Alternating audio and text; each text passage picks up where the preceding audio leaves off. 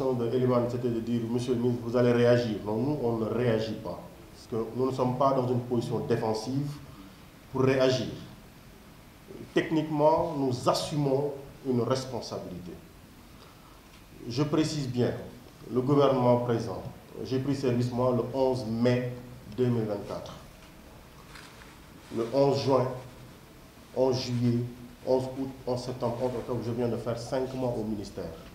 On a conjugué la continuité de l'État. J'aurais bien aimé qu'on dise celui qui était là. Parce que le nouveau référentiel nous appelle à reconsidérer tout ce qui se passe. Et les conclusions que vous allez déposer, le référentiel sera présenté. Partant du référentiel qui sera présenté, chaque ministère sectoriel va s'approprier des éléments du référentiel qui concernent son département. Et les acteurs interpellés au fonctionnement du département donneront leurs inputs qui seront intégrés dans la définition du schéma d'action. Donc, vous n'êtes pas en retard. Vous êtes dans le wagon qui fait la présentation du référentiel. Donc, en mon sens, il n'y a aucune inquiétude à avoir par rapport à cela. Ça, c'est un premier élément. Le second élément qui me semble extrêmement important, c'est qu'on a parlé des ressources, de la gestion des ressources, de l'accompagnement financier. Ça, j'en reviendrai parce que j'ai bien pris note euh, de quelques interpellations sur lesquelles je ne réagirai pas, je donnerai une position qui n'est pas une position de défense, mais une position d'action pour le développement. Je, reviendrai là-dessus euh, tout de suite. Mais ce que je voudrais dire, c'est qu'un État qui arrive a une obligation de dire à sa nation ce qui existe. Et de dire, voilà où nous allons ensemble. On ne rentre pas dans une maison sans faire un état des lieux. Nous tous qui avons été une fois au moins locataires, avons fait l'état des lieux du domicile que nous louons. Le propriétaire, il a dit la peinture est dégradée, les fenêtres ne sont pas là, etc., etc. On en a fait une situation et quand on sort, il revient pour qu'on fasse la situation également. Mais c'est ça comme ça en état. Et aujourd'hui, voici la situation et la communication du gouvernement les jours, quelques jours passés ont donné des informations extrêmement utiles. Voilà pourquoi sur la question du financement, je reviendrai. Vous pensez, et moi quand j'ai entendu dans le développement les externalités positives ou les externalités négatives, je n'ai pas encore entendu depuis que je suis là. Bon, en tout cas, de tout ce qui se prononce sur les ressources pétrolières, gazières et minières, de quelqu'un qui ait parlé d'externalités positives. Honnêtement. Si vous avez des noms, dites-moi qui a parlé d'externalités positives. Je n'en ai pas entendu. Et aussi, aussi, je n'ai pas entendu de personne qui ait parlé d'externalités positives. Donc tout ce qu'on m'a dit, c'est externalité négative sur toute la ligne. Et moi, pour moi, la pertinence de l'analyse, c'est de faire, en tant qu'acteur, les analyses SWOT. Opportunité, menace, avantage, inconvénient. Il me semble que c'est la position la plus juste. Et on sait qu'il... Moi, je ne dirais pas que tout ce qui a été fait est mauvais. Je ne le dirais pas. Et développer ces projets-là, si on ne les développe pas, on compte sur quoi? Le Sénégal est un pays qui ne produit aucune richesse malgré la richesse du pays. Le secteur tertiaire est plus développé que le secteur primaire. Je veux dire, le secteur primaire est plus développé que le secteur secondaire et le secteur tertiaire. Et on ne transforme rien. L'État ne compte que sur des ressources fiscales payées par les citoyens, la pression fiscale importante, avec moins de contribuables pour avoir des ressources financières. Et dans le financement de l'économie d'un État, nous avons les contributions intérieures par la fiscalité, mais l'emprunt est une ressource de financement des actions publiques. Et dans les entreprises, même dans le privé qui fonctionne normalement, on interdit à une entreprise qui a des ressources propres de 1 milliard de financer son investissement avec ses propres 1 milliard. Ce n'est pas une qualité de gestion. Donc l'emprunt a un sens si c'est bien utilisé. Et ça, la communication du gouvernement nous a suffisamment renseigné sur la mauvaise qualité de la gestion de l'emprunt. Et aujourd'hui, toutes les marges permises ont été franchies. Mais dites-moi, si développer une industrie minière, pétrolière et gazière, qui doit être utile, si réaliser la transition énergétique en utilisant les investissements solaires peut être, peuvent être financés par des privés sénégalais. Un mégawatt-heure coûte un milliard d'investissement. Vous installez une centrale de 200 mégas, c'est 200 milliards. Dites-moi, quel Sénégalais peut le financer? Nous avons ici au Sénégal des banques. Et quand vous cherchez l'information, on vous dit nos banques sont en surliquidité. Mais dites-moi, quelle banque soutient des investissements économiques au Sénégal? Dites-le-moi. Allez-y demander aux chefs d'entreprise, aux PME, PMI, qui sont réellement accompagnés par les banques dans le cadre des investissements sur des projets structurants. Aucune banque ne le fait. Il y a des raisons, je ne vais pas débattre sur les raisons. On peut, on peut, on peut le faire ailleurs. Mais si on, si on met de côté le gaz, on met de côté le pétrole, et on veut travailler sur nos ressources solaires, dites-moi, donnez-moi juste un nom, quel est le Sénégalais qui peut porter, quelle est l'entreprise sénégalaise qui peut porter un investissement sur une centrale solaire ou une centrale éolienne, ou qui peut faire des SMR, des Small Modular Reactors, dans, le nucléaire pour nous produire une centrale qui nous donne de l'électricité. Dites-le moi. Mais ça veut dire, dans toute chose aussi, il nous faut faire les analyses pour comprendre les enjeux. Mais les enjeux, c'est se positionner et gérer les externalités négatives. Donc, les amenuiser à leur portion congrue et en tirer le maximum de profit. Et ça me permet de dire que le thème exploitation optimale, on a bien choisi l'épithète optimale. Parce qu'on exploite, dans plusieurs pays du monde, on exploite, mais c'est quoi une exploitation optimale? C'est tirer l'intégralité des externalités positives et d'amenuiser les externalités négatives. Mais est-ce que dans ces projets-là, il y a des externalités positives?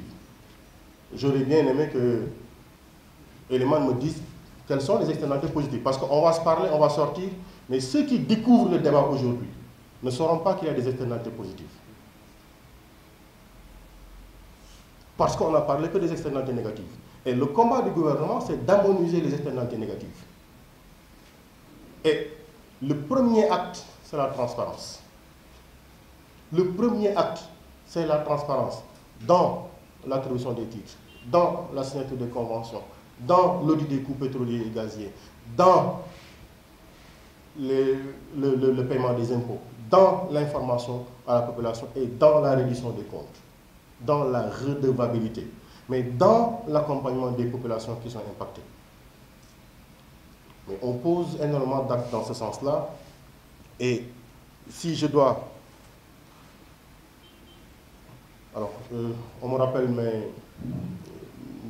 la course contre la montre que nous faisions à l'Assemblée nationale parce qu'on avait toujours 10 minutes et il fallait parler de 50 000 sujets devant des ministres.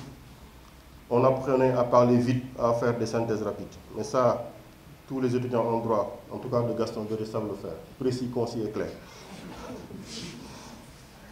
Alors, je, voudrais dire, par exemple, si je devais juste choisir quelques interpellations, parce que là, euh, je, peux revenir sur le contenu local, je peux revenir sur la présence des femmes, je peux revenir, mais je préfère peut-être très rapidement toucher à quelques interpellations ici. Alors, sur euh, le fonds de péréquation, les collectivités locales. Moi, je, pense avoir quitté ma municipalité au mois de juin. J'ai été maire. J'avais écrit à des entreprises qui sont dans les phosphates. Parce que j'étais maire de Thiès. J'ai écrit à des entreprises qui étaient dans l'environnement de ma municipalité. Elles n'ont jamais accusé réception de mes correspondances. Jamais. Alors, qu'est-ce qu'on fait? Aujourd'hui, vous avez bien dit, le ministère des Mines dit avoir fait toute la situation sur ce fonds-là et avoir, et avoir envoyé au niveau du ministère des Finances et du Budget. Est-ce que vous avez entendu la communication du ministère des Finances et du Budget? Un État qui se surendette et qui le cache au peuple. Qui s'endette sur les années à venir même pour gérer 2023. Donc un endettement sur des années qui ne sont pas, qui ont largement dépassé pour le moment 2023, pour 2023. Vous lui dites, ok, voilà ce que nous avons amené. La situation, c'est quoi? C'est aujourd'hui, nous sommes dans une situation extrêmement tendue, malgré le fait que nous ayons envoyé toutes les informations jusqu'en 2023 pour faire la répartition, on a fait la répartition par collectivité. Nous avons fondamentalement l'espoir précis que toutes les démarches qui sont déroulées au niveau du ministère des Finances nous permettront d'aboutir, en tout cas pour le gouvernement qui vient d'arriver. Je précise bien, nous n'avons pas encore fait 5 ans. On vient de faire 5 mois. Pour ne pas qu'on se trompe. 5 mois.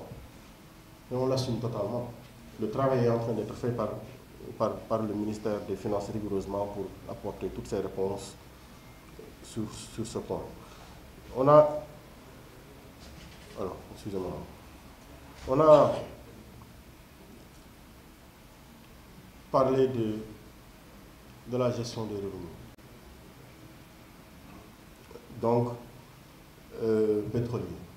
On a parlé euh, du fonds intergénérationnel avec le, avec fonds 6. Mais le travail est en train d'être fait avec le fonds 6, le fonds intergénérationnel, pour le structurer, pour répondre à toutes ces préoccupations-là. Et c'est l'occasion pour moi de dire quand on pose la question de savoir est-ce que le, conseil d'administration de Petrosen peut être intégré par la société civile, mais il y a une loi qui encadre le fonctionnement du conseil d'administration. Sur le geste Petrogaz, vous avez vu ce que le président de la République a bien fait. Il y avait un représentant de l'opposition, il en a mis deux. Il avait la, société civile, il a mis dans le geste Petrogaz. Mais les sociétés seraient-elles des sociétés d'État sont assujettis aux mêmes obligations que toutes les sociétés, avec l'obligation de déposer des états financiers, l'obligation que les décisions soient validées en conseil d'administration, l'obligation d'en rendre compte et de déposer au niveau de la banque centrale ce qu'on appelle les états financiers consolidés. Vous allez à la centrale des bilans, de manière toute transparente, vous avez toute la situation. Et aujourd'hui, comme vous, venez de le dire, on parle de la situation de Petrosen avec ce qu'il faudrait en savoir, mais Sénélec aussi est assujetti aux mêmes obligations. Et on, on, est en train de travailler à la filialisation de la Sénélec pour prendre en charge les secteurs d'activité avec plus d'efficience et plus d'efficacité. Et pour le point sur le, le contenu local, on sait tous qu'il y a une loi sur le contenu local. Et, il, est, il, est, vrai que deux lois, une loi pour le pétrole et le gaz, une loi pour les mines. Aujourd'hui, dans le cadre effectivement de la consolidation du ministère, on a le secrétaire technique au contenu local. Mais c'est quoi le contenu local? C'est quoi? Voilà pourquoi je suis parfaitement d'accord avec vous sur l'importance de la présence du privé national dans le développement de ces projets. Mais avec le niveau de financement, ils sont obligés de travailler en joint venture avec quelqu'un qui a l'expérience, parce qu'au Sénégal, on a, au Sénégal, on n'a jamais creusé de forage. Je parle de n'a jamais fait pétrole ou gaz. Dans le développement de projets miniers, c'est la même chose. Parce que ceux-là qui ont les moyens, vous les retrouvez où? Dans les semi-mécanisés. Parce qu'ils pensent pouvoir opérer là-bas. Parce que le niveau d'investissement dans le cadre de développement projet minier d'envergure demande des niveaux de financement et ce n'est pas sur les banques locales qu'on va compter pour le faire. Mais le contenu local, c'est promouvoir l'entreprise nationale, l'entreprise locale pour jouer un rôle dans la domestication de la connaissance, dans la domestication et dans le fait que les revenus ne, ne peuvent pas sortir du pays. Parce que le constat, c'est un étranger qui vient, qui investit, qui fait venir ses cadres, qui emprunte dans la banque de son pays, donc c'est la banque de son pays qui finance. Il vient avec des compétences de son pays, qui vient développer un projet.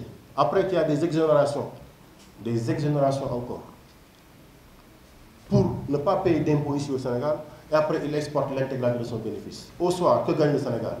Rien du tout.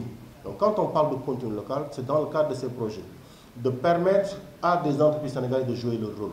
Mais également, à l'employé, à la compétence sénégalaise de jouer sa présence et sa compétence. Maintenant, l'impact dans les communautés. L'impact auprès des communautés en général victimes de toutes ces opérations, sur l'environnement, sur les communautés. Je, je, je, vous raconte une petite histoire. Il y a une entreprise minière, là au Sénégal, mais pour cuisiner, pour cuisiner du mais c'est une société sud-africaine qui le fait. Exemple. Est-ce que vous voyez? Une société de restauration sud-africaine vient au Sénégal pour, mettre, pour, pour faire du thieboudion. Donc il y a Binter ou restaurant Mahali, personne ne peut le faire. Est-ce que vous vous rendez compte? On nous dit à tel poste, c'est qui, qui, qui, direction générale, on n'a rien contre, un étranger. Direction commerciale, un étranger. Direction approvisionnement, un étranger. Direction financière, un étranger. Mais arrêtez. Arrêtez. Vous avez chez vous des compétences qui ont déjà fait 12 ans dans votre entreprise, formés, éduqués au Sénégal, qui peuvent gérer ces postes-là. Mais on s'est opposé. On a écrit, on dit, on ne va pas accepter qu'un étranger soit le directeur général. N'est-ce pas, directeur? Et il a suivi la question. Aujourd'hui, ils ont compris que sur cette question, on ne lâchera pas. Ils ont accepté de nous suivre. Et la dernière conclusion avec eux, c'était de leur dire, et pour celui qui reste ici, on lui donne deux ans. Le temps que vous trouviez le Sénégalais qui va avoir la compétence de prendre le poste, mais au bout de ces deux ans-là, vous sortez du Sénégal.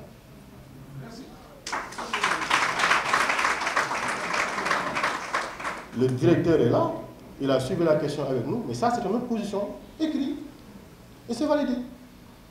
Et ce sont, je vous, je vous dis, nous ne sommes pas en train de réagir, ce sont des actes que nous posons au quotidien. Et je vous informe que la semaine prochaine, nous serons à Saint-Louis pour discuter avec les communautés sur la situation de la pêche. Nous ne sommes pas en train de réagir, nous sommes en train d'agir. Parce que notre conviction propre, Monsieur le Président de la République nous a dit, dans le projet politique que nous portons, il nous faut un Sénégal souverain. Mais un Sénégal souverain, c'est de confirmer que les ressources appartiennent au peuple. Donc le peuple exprime la souveraineté absolue. Pour produire quoi? Une société juste et prospère. Mais une société juste, c'est que chacun, dans son secteur d'activité, puisse tirer avec l'accompagnement de l'État les biens totalement dont il doit bénéficier dans le développement de son activité.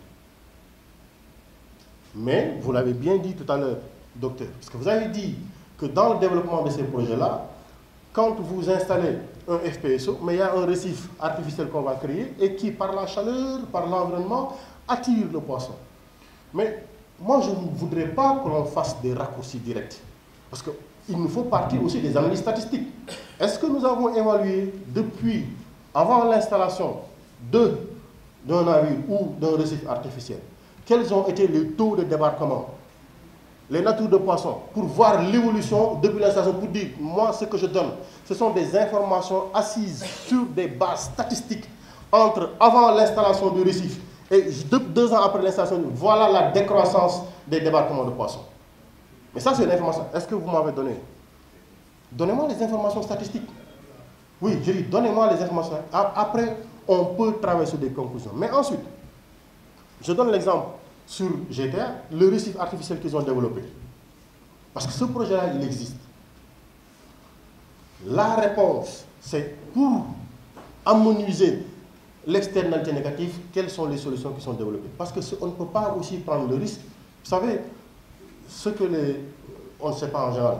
On a couru un risque par les, temps, par les derniers temps. Des navires qui ont du du, carburant, de petits bateaux qui approchent une zone d'extraction pétrolière, un projet qui coûte 5 000 milliards, un monsieur qui met le moteur, une petite, étincelle, et voilà un FPSO qui prend le feu.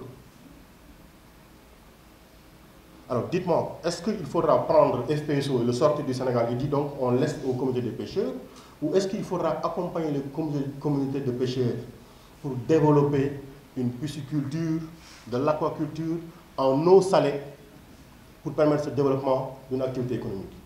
Mais on est en train de travailler sur ces projets-là. On dit, il y a la pêche d'eau douce.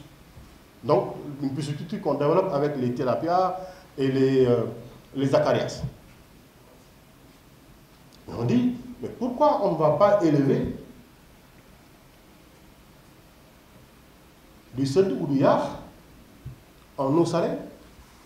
On ne va pas me dire qu'on n'a pas l'expertise. Il faut accompagner ces, populations en transformant leur activité, qu'elles deviennent des éleveurs aquatiques. Ça, c'est les projets sur lesquels nous travaillons. Donc, on n'est pas en train de réagir. Nous sommes en train d'agir encore. Et pour nous, on a tellement d'interpellations et j'aime bien les discussions contradictoires, constructives. Seulement, euh, le temps me prend. Je serai peut-être obligé de, m'excuser, mais j'aurais bien aimé aborder le point sur la transition énergétique. Pour en parler, avec ce qui est en train de se faire, nous sommes au mois d'octobre. Le mois d'octobre, c'est ce qu'on appelle le mois de pic, où tout le monde allume ventilo ou clim. Et le Sénégal produit sur l'année à peu près 1400 MWh sur l'année aujourd'hui. Sénélec en produit une partie, mais l'autre partie, Sénélec achète pour revendre. Aujourd'hui, c'est le niveau d'investissement. Et chaque année, la consommation, la demande augmente de 150 MW. On est en 1900. Ça veut dire quoi? Ça veut dire qu'en 2025, on aura besoin à peu près de 2100 MW. Qui va le financer? Avec quel projet? Mais est-ce qu'on va continuer aussi à être dans des projets de 100 MW, de 50 MW, où tout le Sénégal vous retrouvez de petites centrales ici, centrales là ou est-ce qu'il faudra raisonnablement faire de gros projets de 500 MW pour que, deux fois 500 MW, donc 1000 MW, pour que le Sénégal soit tranquille pendant les 20 ans à venir? Ensuite, le gaz dont on parle, l'extraction, on dit externalité négative. Mais quand le gaz est domestiqué, gaz to power, qu'on l'utilise dans la production de la Sénélec, les Sénégalais ont accès à une énergie, à un coût abordable. Parce que fondamentalement, l'utilisation du gaz nous permet de produire de l'électricité à un coût moins important que le fuel qu'on est en train d'utiliser. Externalité positive ou négative Ou convertir notre gaz en énergie à un coût abordable, tirer les profits. Et moi, je dis, je préfère dans une situation pareille être à l'analyse SWOT, faire coût-avantage, opportunité et menaces, harmoniser les menaces et liquider les inconvénients. J'aurais pu encore embrayer sur les autres sujets parce que j'ai pris note de toutes les interpellations. Vous conviendrez avec moi, malheureusement, le temps prend. J'espère pouvoir, dans un cadre encore plus ouvert, approfondir cette discussion-là, reposer l'intégralité des sujets. Parce que ce que vous faites est un travail extrêmement utile et vous ne pouvez pas vous arrêter de le faire. Et le, gouvernement que vous avez avec vous vous écoutera, prendra vos opinions, échangera avec vous, discutera, acceptera la contradiction et la critique, parce qu'enfin, ce qui nous importe, c'est au soir qu'on puisse produire le Sénégal que nous voulons. Je dis un Sénégal souverain, juste et prospère. Vous y avez été depuis lors. Parfois, on ne vous a pas compris. Et je vous dis, le gouvernement que vous avez vous comprend et vous accompagnera dans le déroulement de la présente mission. J'aurais bien aimé encore aller dans le fond des, autres interpellations. Mais le bouillon jeexul waaxu suul jeex salaamaaleykum wa rahmatullah